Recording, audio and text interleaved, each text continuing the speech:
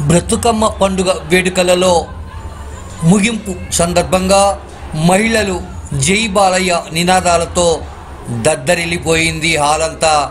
ఇప్పుడు ఆ దృశ్యాల పైన మనం వీక్షిస్తున్నాం.